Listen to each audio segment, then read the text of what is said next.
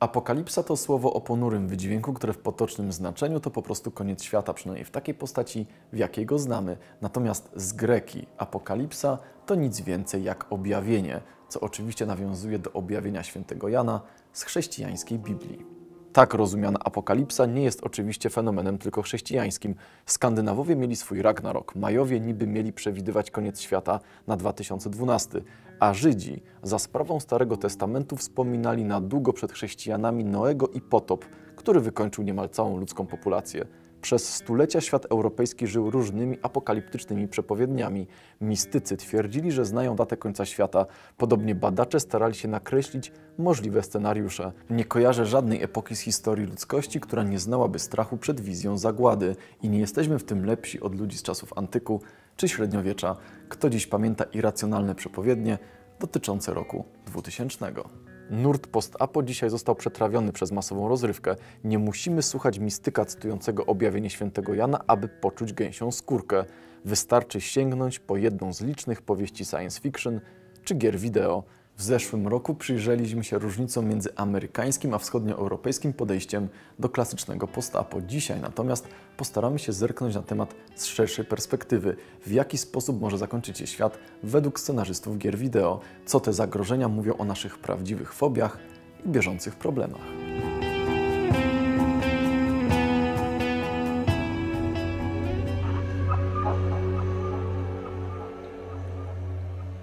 Wojna jądrowa to jedna ze świeżych fobii. Siła bomby atomowej mogła przerazić w 1945 roku, ale z kolejnymi dziesięcioleciami potencjał destrukcyjny tej broni rósł w niewyobrażalnym tempie. Fallout i Metro pozostają dwoma skrajnymi przypadkami różnego podejścia do tego samego tematu i warto zauważyć, że nuklearna apokalipsa stała się scenariuszem na tyle nieprawdopodobnym, że robiącym coraz mniejsze wrażenie i powracającym w kontekście konkretnych marek.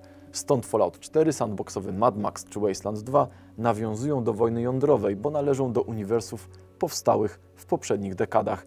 Koniec świata od bomby atomowej to temat zalatujący retro, nawet pomimo rosnącego napięcia wokół Korei Północnej. Dzisiaj wojna niczym z Fallouta to jeden z naszych najmniej prawdopodobnych problemów, stąd żartobliwe podejście chociażby w takich grach jak 60 Seconds. Rzecz jasna nie oznacza to, że nie może dokonać się apokalipsa na lokalną skalę. Awaria elektrowni w Fukushimie pokazuje, że energia jądrowa nadal potrafi straszyć.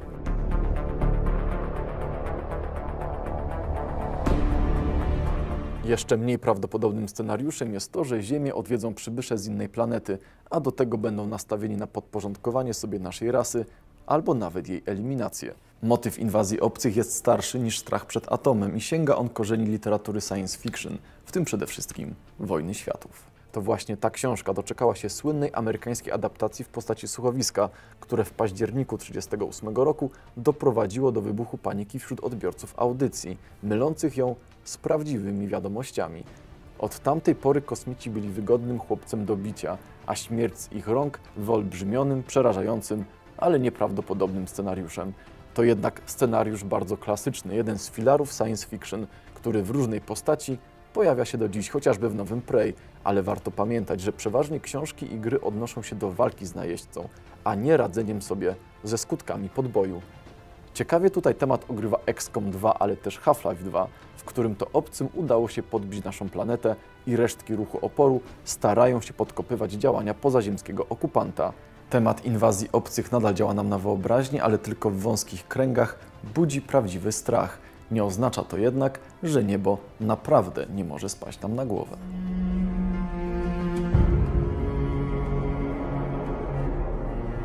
Ponad 60 milionów lat temu w Ziemię pieprznęła planetoida, co prawdopodobnie przyczyniło się do wielkiego wymierania z okresu kredy.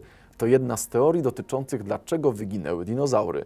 I choć ludzkie rządy na Ziemi są potwornie krótkie, tak zwrócenie ludzkiej uwagi w kierunku gwiazd sprawiło, że pojawił się też strach o powtórkę tamtych wydarzeń.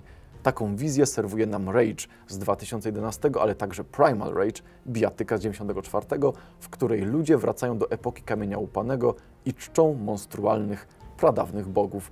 Często z motywu kosmicznej kolizji korzystała także seria Ace Combat, w której apokalipsa, choć na ograniczoną skalę, całkowicie wywracała polityczny układ współczesnego świata. Dosadniej pokazano to w Advanced Wars Days of Ruin, gdzie katastrofę udaje się przeżyć jedynie 10% populacji, a pozostałości superpotęg rywalizują o zasoby i technologie. Nawet Zelda odnosiła się w Majora's Mask do apokalipsy spowodowanej uderzeniem księżyca o planetę. Rzecz jasna, wątek planetoidy mógł działać mocniej na wyobraźnię za sprawą licznych filmów katastroficznych z okolic premiery przaśnego Armagedonu, ale także ambitniejszej melancholii von Triera. Nie zanosi się jednak na to, abyśmy w niedalekiej przyszłości mieli sobie tym zawracać głowę. Obiekty uderzające regularnie w Ziemię są za małe, aby uczynić poważne szkody, a większe bolidy zagrażają nam ponoć z szansą 1 do 300 tysięcy na rok. Oczywiście to nadal znacznie większa szansa niż na trafienie szóstki w Totka i dlatego też to zagrożenie traktowane jest naprawdę poważnie. A przypadki jak ten z Rosji z 2013 roku mogą przekonać niedowiarków. Niebo skanowane jest więc nieustannie w poszukiwaniu zagrażających nam olbrzymich obiektów. Pozostaje pytanie, co zrobimy z wiedzą o takim zagrożeniu, bo to bardzo wygodne patrzeć w gwiazdy, gdy tak naprawdę zagłada może czaić się znacznie bliżej.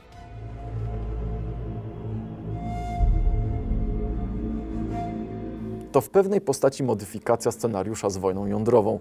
Morał jest w sumie podobny. Ludzie igrają z niebezpiecznymi technologiami bez myślenia o konsekwencjach. Słychać tutaj echa krytyki postępu za wszelką cenę i próby okiełznania niebezpiecznych sił i zamiany ich w potężną, ale nieprzewidywalną broń.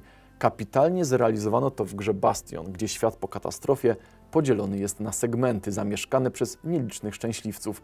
Przyczyna apokalipsy jest ukryta przez większość czasu gry. Dopiero na zaawansowanym etapie okazuje się, że prawdziwą przyczyną jest nieufność między dwiema konkurencyjnymi rasami ludzi i wyścig zbrojeń, który kończy się tragicznie. Krok dalej idą wszystkie gry, które ukazują, jak dosłownie ludzkie twory wyrywają się spod kontroli. Mowa oczywiście o buncie robotów i uniezależnieniu się sztucznej inteligencji. Ten scenariusz świetnie rozgrywała do czasu filmowa seria Terminator, która doczekała się kapitalnej adaptacji w 1995 roku w postaci gry Future Shock, przełomowej strzelaniny z wieloma elementami, które wyprzedzały swoje czasy.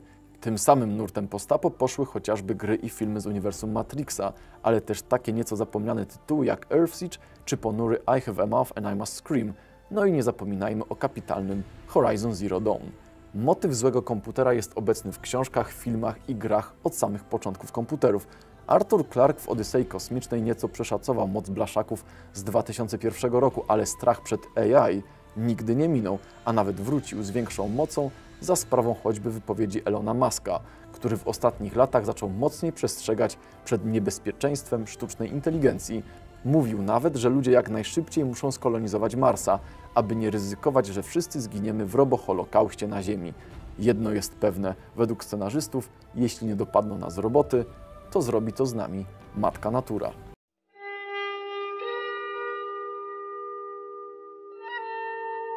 Jest to motyw najczęściej występujący w grach japońskich i nic dziwnego, bo znajdziemy go także w filmach animowanych i mandze. Japończycy dokonali potężnego skoku technologicznego w zaledwie 100 lat, wychodząc od zacofanego feudalnego państewka do potęgi technologicznej. Nie obyło się bez kosztów i japoński duch rozdarty jest między tęsknotą za przyrodą, a nowoczesnym stylem życia. Do tego Japonia ma regularne problemy z tsunami trzęsieniami ziemi, a nawet z wulkanami. Jak mało który naród znają groźne oblicze natury. Stąd nawet w takim Splatoon mamy wątek post-apo. Ludzie wyginęli w wyniku podnoszenia się poziomu mórz, a morskie gatunki wyewoluowały w nowe, inteligentne rasy. W mało znanej u nas grze Radiant Silvergun bohaterowie przez całą grę walczą z enigmatyczną istotą, która okazuje się być ucieleśnieniem samej planety Ziemi, która regularnie robi reset ludzkiej cywilizacji z powodu jej tendencji do wojny i brutalności. Final Fantasy VII planeta Gaia uruchamia również swoje zabezpieczenia w postaci potworów znanych jako broń, z angielska weapon. Plan zagłady ludzi przeprowadziła natura w Jade Cocoon, sprowadzając do świata liczne demony, a ludzie żyją skupieni w ostatnich enklawach, starając się dostosować do nowych warunków i wykorzystać złapane demony do własnych celów. Naturalne kataklizmy przybierają więc tu postać potworów. Nie jest to odległe od Gojiri, metafory uwolnionej mocy atomu. W grach zachodnich natura odgrywa zaś drugorzędną rolę. Przeważnie wątek odradzającej się kosztem ludzi natury towarzyszy innym katastrofom. Wystarczy zobaczyć zarośnięte miasta The Last of Us czy zmutowane zwierzęta w Falloutie. Strach przed Deathclawem ustępuje jednak pod każdym względem grozie przed tym, co niewidoczne i w ten sposób na scenę wkraczają wirusy, grzyby i bakterie.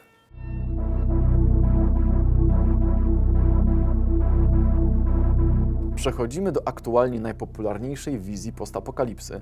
Od dobrych kilku lat gry o tematyce zombie mają się świetnie. To duża zasługa takich uniwersów jak Walking Dead, ale podobne motywy odnajdziemy też w starszym Resident Evil oraz w nowszych Killing Floorze czy Dead Island. I choć wydawałoby się, że żywe trupy to dość oklepany, bo mocno eksploatowany setting, tak jego popularność nie bierze się znikąd.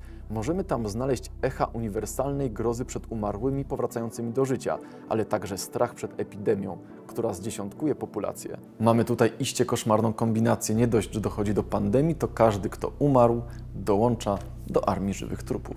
Ta forma końca świata niszczy nie tylko ludzkie życie, ale także miażdży psychikę tych, którzy przeżyli, gdy muszą zabijać reanimowane truchła swoich bliskich. Warto pamiętać, że na froncie z chorobami zakaźnymi wielkie sukcesy odniesiono dopiero w XVIII wieku za sprawą pierwszych szczepionek, ale największe postępy medycyny to dopiero XX wiek. Mówimy chociażby o dziś powszechnych antybiotykach, ale także szczepionkach na polio, wirusowe zapalenie wątroby typu B czy gruźlicę.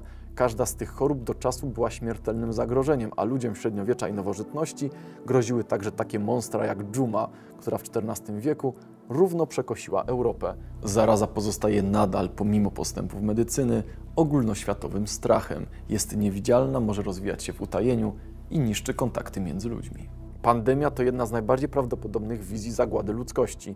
Nawet w epoce wielkich odkryć medycyny powstają nowe zagrożenia, a ruchy antyszczepionkowe mogą przynieść niespodziewane, tragiczne konsekwencje, jak pokazał to nawrót Odry w Stanach Zjednoczonych. Wątek epidemii rozgrywają dziś tak skrajnie różne od siebie gry jak The Last of Us i Hatoful Boyfriend, a w Plague Incorporated sami możemy spróbować wyrżnąć całą ludzkość to już podchodzi pod formę oswajania strachu. To właśnie zaraza pozostaje ostateczną wizją apokalipsy i to od niej się zaczęło w 1826 roku, gdy Mary Shelley opublikowała powieść Ostatni Człowiek, pierwsze uznawane dzieło z gatunku post-apo, a więc pewne rzeczy jednak się nie zmieniają.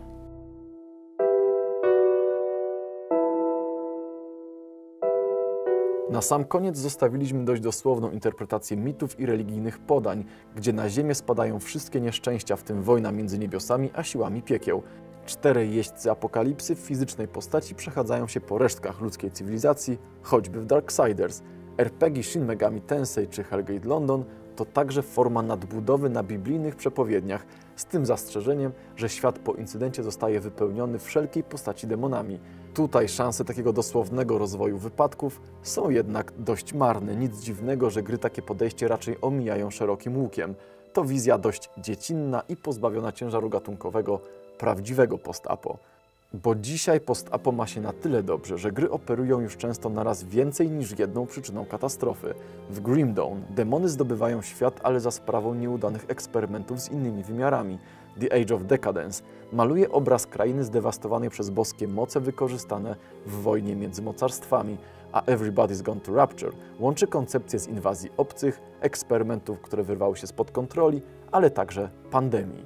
I choć przyczyny apokalipsy mogą być różne, tak gatunek opiera się na bardzo konkretnych założeniach. Możemy tu nawet mówić o efekcie post-apo. Upadek cywilizacji to tylko pretekst do zadania uniwersalnych pytań. Jak poradziłby sobie człowiek w nowych warunkach? Jak zmieniłyby się jego postawy w wypadku takiego, a nie innego zagrożenia? I co jest najgroźniejsze? Robot, obcy czy mutant, czy po prostu drugi człowiek?